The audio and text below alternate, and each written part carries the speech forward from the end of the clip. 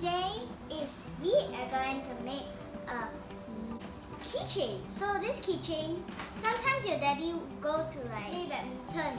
So right now, those one that is broken, you ask your daddy to keep it so you don't need to like fill up your rubbish bin or something. So everything you need is one keychain, one shuttlecock,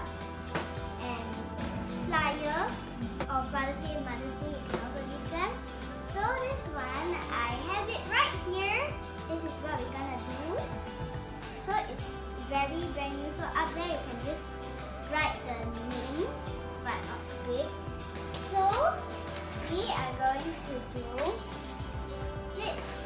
First you say this, then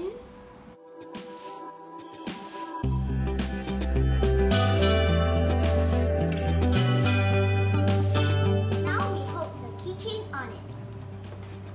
But if your keychain is like this and your nails are not long